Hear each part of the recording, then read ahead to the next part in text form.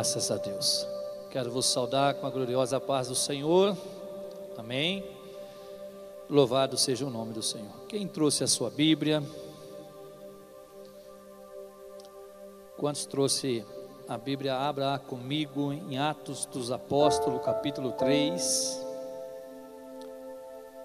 Louvado seja Deus. Agradeço a Deus por fazer parte desta obra com toda a seriedade pastor Jefferson, pastor Miguel, Deus seja louvado por esta obra.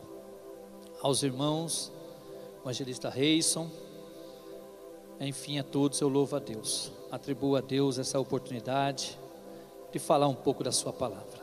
Presbítero Reinaldo, Deus seja louvado. Atos capítulo 3, vamos fazer menção da leitura do Senhor. E Pedro e João subiam junto ao templo à hora da oração, a nona. E era trazido um homem que desde o ventre de sua mãe era coxo, o qual todos os dias punha à porta do templo, chamada Formosa, para pedir esmola aos que entravam. O qual, vendo a Pedro e a João que iam entrando no templo, pediu-lhe, disseram, uma esmola.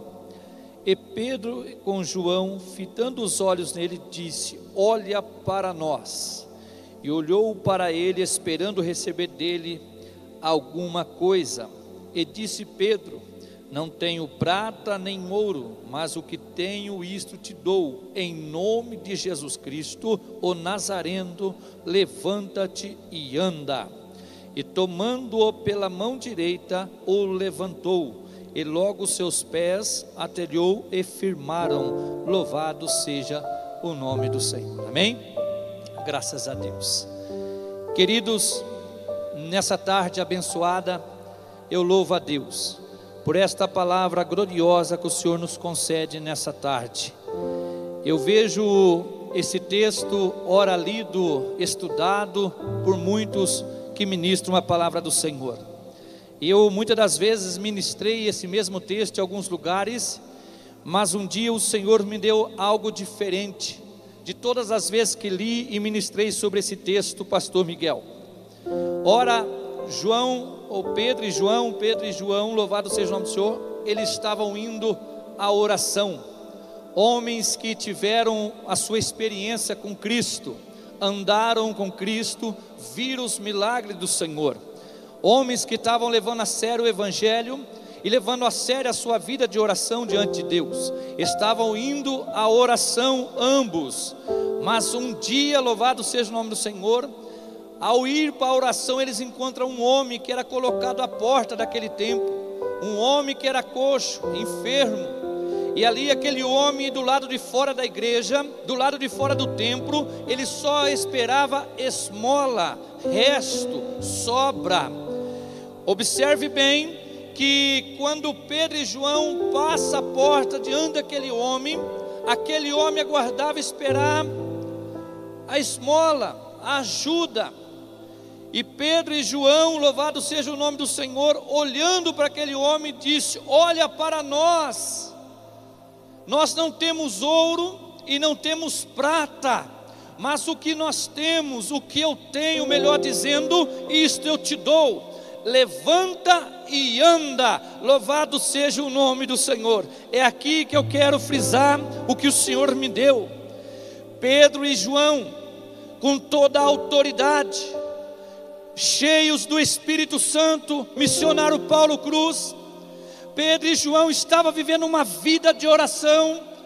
A Bíblia diz que eles tinham um compromisso com a palavra, mas quando eles ordenou no nome de Jesus, para aquele homem enfermo andar, levantar, ele não levantou.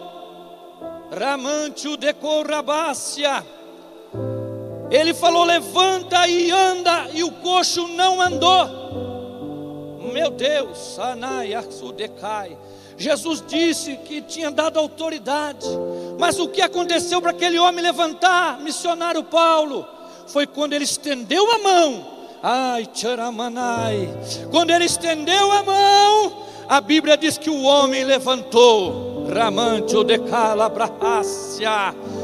Você sabia que na obra missionária é necessário não apenas orar, não é só estar cheio do Espírito Santo, é necessário estender a mão, porque quando estende a mão, Deus levanta e o nome dele é glorificado. O mesmo Pedro, no Evangelho segundo escreveu São Mateus no capítulo 14, ele tiveram uma experiência experimentando a ajuda de uma mão.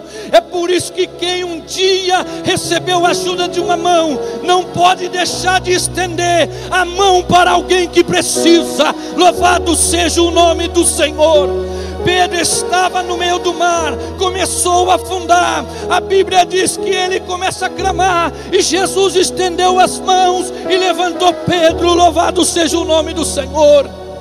Estas mãos está aqui hoje, essa tarde, para levantar a sua vida, amante de calabrafácia.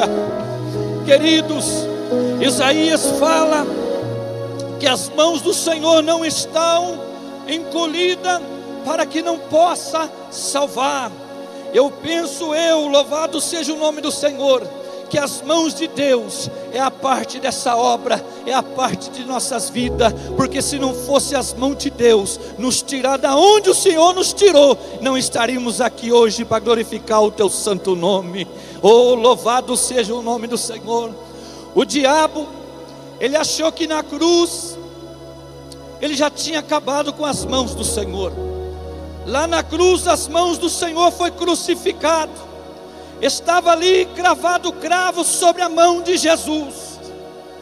E ali se passaram os três dias.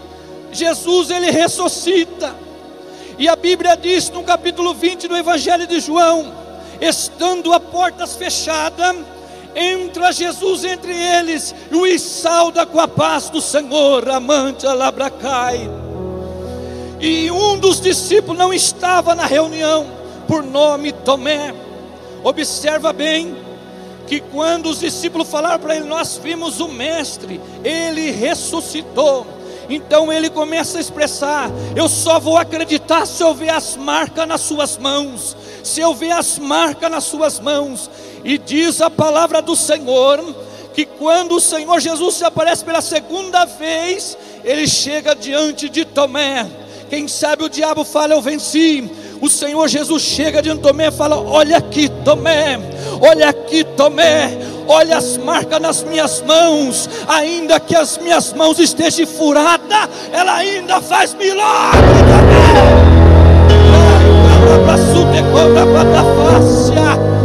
As mãos do Senhor ainda faz milagre.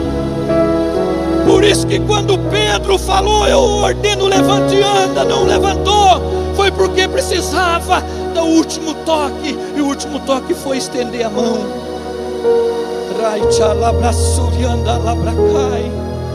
Queridos, todos precisam que alguém estende a mão. A obra missionária, as almas.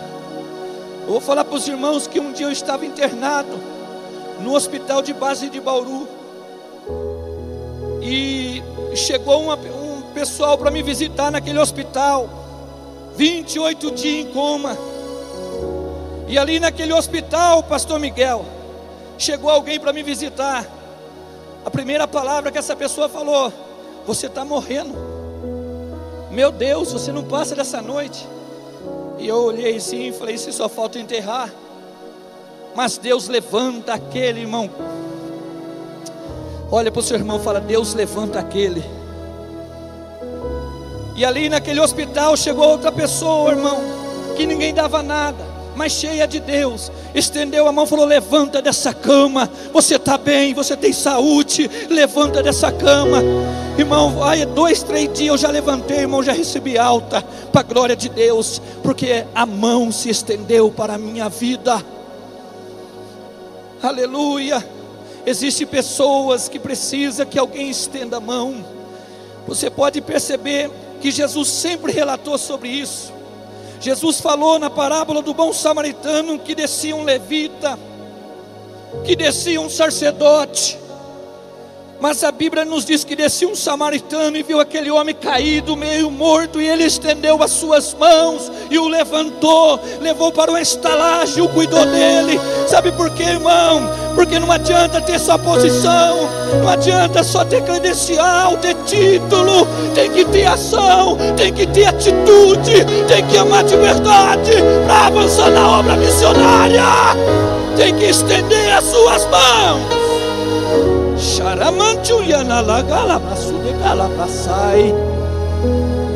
Aleluia. Se hoje eu estou aqui porque as mãos dele me alcançou.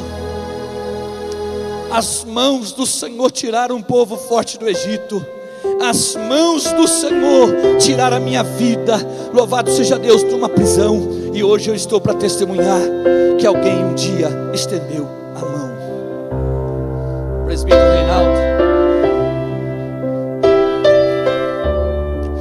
sinto a presença dEle nessa noite.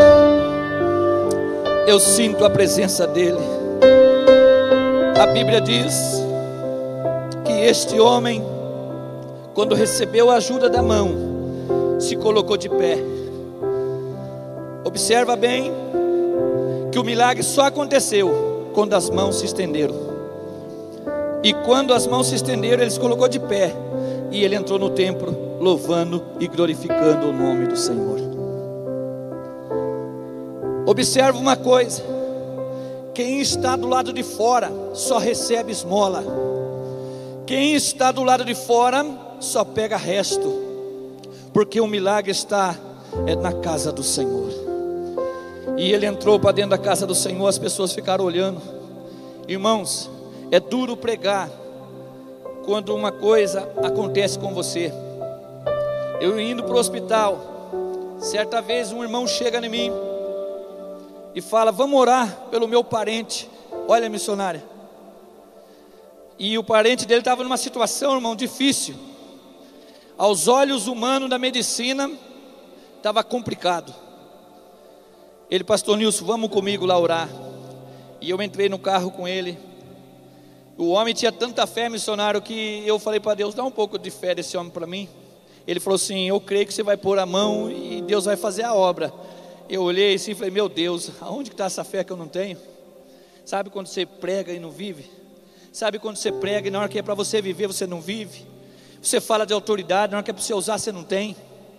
E eu fui no carro, falei: Jesus, eu não tenho essa fé, Jesus. Eu fui, irmão. A gente tem que ser verdadeiro.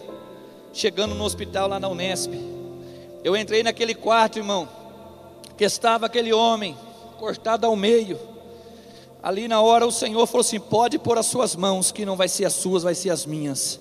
Irmão, eu orei com fé, falei, Jesus, eu não tenho o dom da cura, mas a oração da fé ela salva o doente. E quando eu estendi a mão, irmão, eu senti a minha mão queimar. E Deus levantou aquele homem daquela cama para glorificar o nome dele, para dizer: Anai, cola para sul, só estende a mão, porque quem faz é Deus. Só estende a mão, que quem faz é Deus. Aleluia! E ali Deus levantou aquele homem daquele hospital. E para completar, os enfermeiros chegaram e falaram: O que aconteceu? Aí entrou a médica. A médica olhou para ele, começou a chorar. Aí falaram assim: O que aconteceu com ele? O pastor chegou e estendeu a mão. Ela falou assim: Mas eu estava olhando, enquanto o pastor estava orando, eu vi uma mão branca sobre a mão, a cabeça desse homem. Eu só estendi a mão, irmãos. Só o gesto de estender a mão. Enquanto eu estava estendendo a mão, crendo, o Senhor já estava com sua mão operando. É assim que acontece. Você estende, crê que Ele já está fazendo a obra. Amém? Glorificado seja Deus nessa tarde. Queridos, sou grato a Deus, porque eu sou uma pessoa que eu vivo e contemplo a mão de Deus sobre a minha vida. Eu não tinha é, nenhum motivo para estar na presença de Deus, ou até mesmo na igreja, vindo de um lar que eu vinha, de uma casa onde ninguém conhecia Deus, e da onde o Senhor estendeu as suas mãos. Quando o pastor Carvalho pregou antes sobre a aldeia, foi Jesus que foi lá e estendeu as suas mãos, lá dentro da aldeia. lá dentro da aldeia, diante de uma muralha de sete metros, ele foi lá e resgatou. Esse que vos prega essa tarde, e fez de mim um pastor de igreja, fez de mim um pregador da Sua palavra, um falador de Jesus, como tem feito com cada um que está aqui nessa tarde. Queridos, agradeça a Deus essa tarde por estar aqui, porque muitos nesse dia não acordaram. Muitos nesse dia acordaram, mas não vão dormir nas suas casas. Muitos nesse dia, irmãos, estão no leito, ou até mesmo numa prisão. E nós estamos aqui para bendizer o nome do Senhor. Louvado seja Deus, aqui no Congresso Avante Missionário. Louvado seja o nome do Senhor. Quero ser grato a Deus aqui por todos, em nome do Senhor Jesus, Pastor Miguel. Você é um homem que crê no Evangelho, esse homem aqui, ó. Esse homem tem a clínica lá, irmãos. Não é aquela clínica que existe uma burocracia para você internar uma pessoa, não é. Tem clínica, Pastor Miguel, que para você pôr uma pessoa, você tem que, sabe que tem que passar um processo, lá não. E tem fruto, né? tem fruto aqui conosco aqui, recuperado da droga, do vício. E amanhã vai estar aqui para glorificar o nome do Senhor. Querido, quem prega a palavra, um congresso missionário tem que acreditar no último que Deus transforma o mais vil pecador. Pode ser o cara mais, pode ser traficante, homicida, pode ser homossexual, pode ser lésbico, pode ser o que for eu acredito no Evangelho que quando se estende a mão, o Senhor Deus, Ele faz a obra por completo. Paulo Cruz, se nós não acreditar, Paulo Cruz, se a igreja não acreditar, Paulo Cruz, nós vamos viver só de fachada. Aleluia! A gente vai viver só de mão, só de aparência, mas se a igreja acreditar no que eu estou pregando, na palavra de Deus, as boas novas que o Avante prega, vai transformar vidas, vai alcançar o mais vil e perdido pecador. Por isso que eu falo na igreja, irmão. Eu sempre ensino na igreja. Quem chegar, estende a sua mão e dá um abraço, porque nós não sabemos como essa pessoa chegou, mas nós sabemos que o Senhor vai abraçar e ela vai sair daqui abençoada em nome do Senhor Jesus. Quantos acreditam nisso? Quantos pode fazer isso? Nunca, irmão, se estiver congregando numa igreja, chegar alguém do seu lado, nunca desfaça. Falei isso com o pastor Marcos esses dias mas estende a sua mão e cumprimenta a paz do Senhor, meu irmão. Seja bem-vindo. Essa é a obra do Senhor. Avante, missionário. Para encerrar, tem quem diga que já fez a obra, tem quem diga que já fez a sua parte e está estacionado. Mas eu lembro de um missionário que foi lá na África e ele evangelizou, ganhou muitas almas. E ele pegou o veículo para voltar embora e já estava agradecendo a Deus, falando: Senhor, agora eu sei que no pouco fui fiel e no muito o Senhor vai me colocar. O Senhor repreendeu ele e disse: Volta, porque ainda tem 600 aldeias para você alcançar para mim. Ei, não tem como parar. É avançar, irmão. É avançar. Não diz que já fez, está tudo feito. Não tem que avançar. A obra é essa, Avante Missionário 2017. E nós estamos aqui, Evangelista Reis, para glorificar o nome do Senhor. Amém? Quem louva o Senhor? Quem que louva o Senhor?